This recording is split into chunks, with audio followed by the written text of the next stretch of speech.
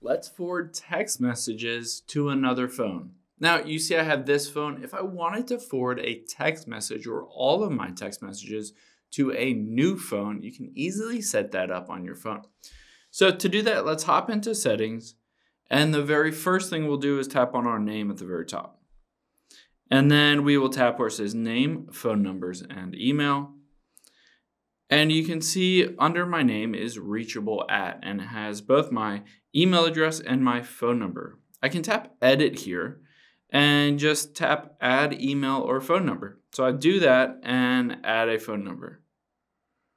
So once I do that, just enter in the phone number that you want to be forwarding all these text messages to.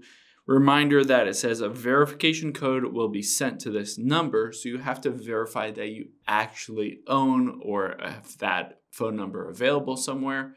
So make sure you can respond to that verification text. So once you've done that, gone through the process of doing that, let's hop back out of here. And then we will scroll down until we get to messages here and tap on that.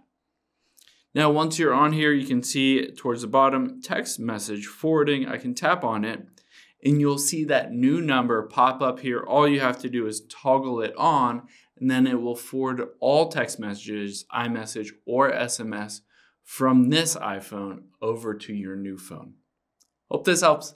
Thanks for your time today and I'll see you on the next one.